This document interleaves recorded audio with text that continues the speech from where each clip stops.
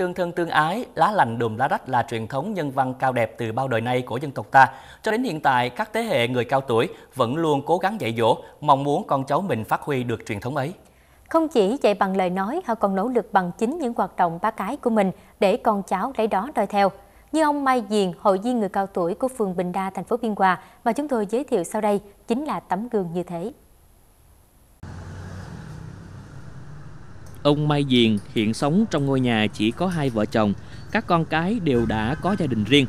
Tuy lớn tuổi, song ông vẫn chủ động làm kinh tế, không phụ thuộc vào sự chăm lo của con cháu.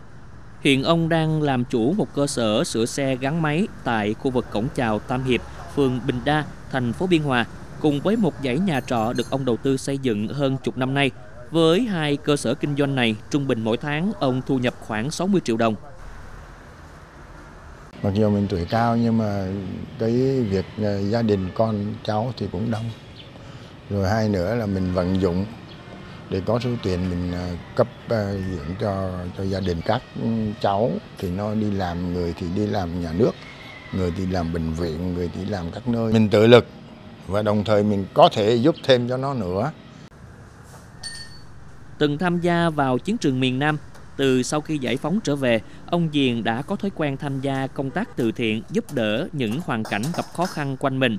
Trong hơn 10 năm qua, đều đặn mỗi tháng ông đóng góp 90 kg gạo cho những hoàn cảnh khó khăn.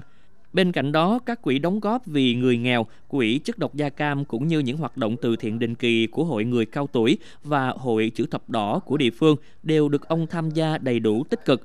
Trung bình mỗi năm, ông dành khoảng 50 triệu đồng cho công tác xã hội. Không chỉ đóng góp kinh phí, ông còn trực tiếp cùng các mạnh thường quân xuống từng địa bàn, kể cả vùng sâu, vùng xa để chia sẻ cùng những hoàn cảnh khó khăn. Cái ờ, mình làm từ thiện như vậy là mình rất là vui.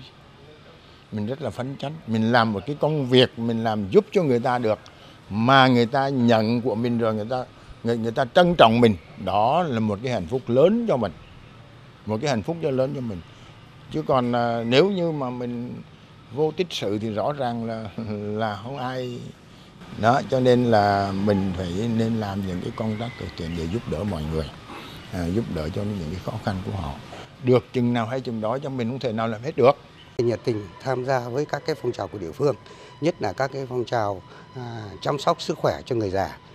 Thế rồi là ủng hộ tất cả các cái phong trào cho cái hội người mù của thành phố cũng như là các cái phong trào của mấy cái à, phường xung quanh đây rồi cũng tạo công ăn việc làm cho những người lao động nữa. Như năm 2018 thì bác cũng được à, Ủy ban nhân dân thành phố là chủ tịch ủy ban nhân dân tặng bằng khen về các cái phong trào là sản xuất kinh doanh à, giỏi và đồng thời là tạo điều kiện giúp đỡ cho những cái người nghèo, khó khăn thì bác là một người tuy là cũng cao tuổi rồi, thế nhưng mà rất là nhiệt tình tham gia với cái địa phương là như vậy.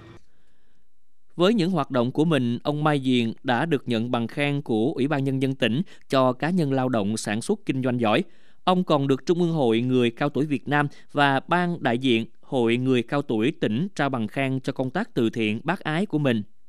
Có thể nói dù cao tuổi, song ông Mai Diền luôn phát huy tinh thần tuổi cao gương sáng, tích cực nỗ lực phấn đấu phát triển kinh tế, không tạo gánh nặng cho gia đình và xã hội.